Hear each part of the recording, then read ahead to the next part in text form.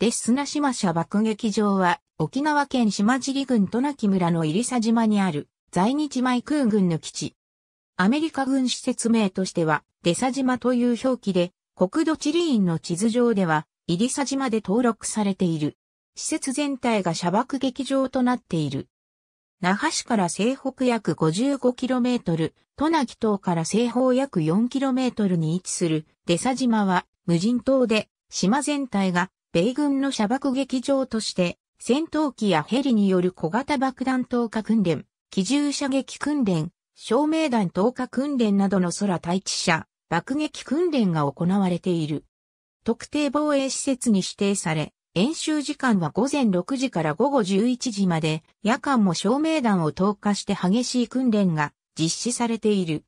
その様子は、本土復帰後の1975年11月6日からは、航空自衛隊も標的投下及び回収訓練の訓練場として使用している。美しい島の姿は有名で、八重山のオバマ島を舞台にした NHK の朝の連続テレビ小説、チュラさんのオープニングの映像にも使われたほどだが、米軍基地であるため、上陸することはできない。入佐島の頂上付近にある4つのウ滝は、西御嶽、中御嶽、黒崎ウ滝、浜崎歌木で、渡名喜住民の聖地とされ、住民はこの島を守り、毎年島の牛の祭礼を行ってきた。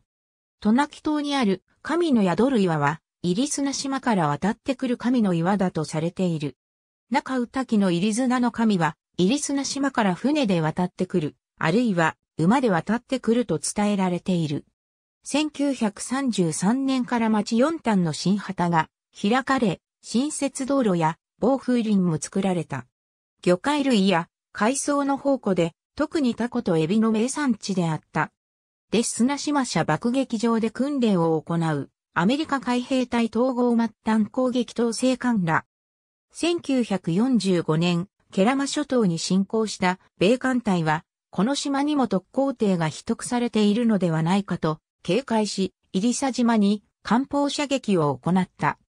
その後も占領は続き、特定防衛施設として、現在では深夜11時まで照明弾を落とし射爆訓練が行われる。その様子は 4km 先の渡名喜島からもよく見える。